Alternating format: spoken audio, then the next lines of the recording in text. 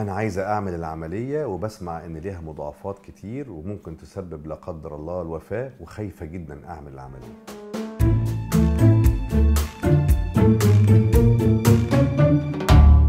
أنا الدكتور وائل شعلان استشاري جراحات السمنة والمناظير.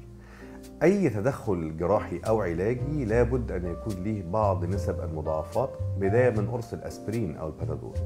مفيش عملية ومفيش علاج آمن بنسبة 100% ولكن دايما المنظور بتاعنا بيكون منظور كلي والإحصاء بتساعدنا في الحاجات دي. إحنا عندنا المضاعفات الناتجة عن جراحات السمنة كلها على بعضها بتصل في نسبتها إلى 19 من 100% يعني 19 في كل 10000 وعشان نفهم ده بنقارنه بالجراحات التانية المتعارف عليها مثلا زي جراحة الزايدة مضاعفاتها قد تصل إلى 11 في 10000 المرارة 14 في 10000 الأرقام دي ما بتكذبش وبتورينا إن هذه الجراحات هي آمنة ودرجة الأمان بتاعتها قريبة جدا من الزايدة والمرارة.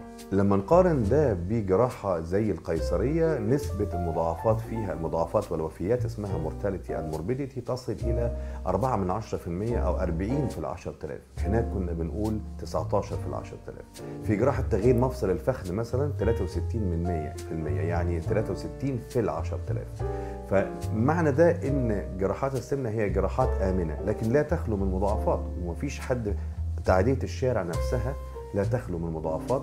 ولا قدر الله قد تؤدي إلى حاجات مش لطيفة. ما نخليش المنظور الأسود هو اللي يسيطر علينا وهو اللي يسوق لأن السمنة في حد ذاتها بترفع من نسب المرض والوفيات بنسبة 68 مش في ال 10000 68 في المية. وهبوط الوزن بيقلل النسبة دي بنسبة 51 في المية.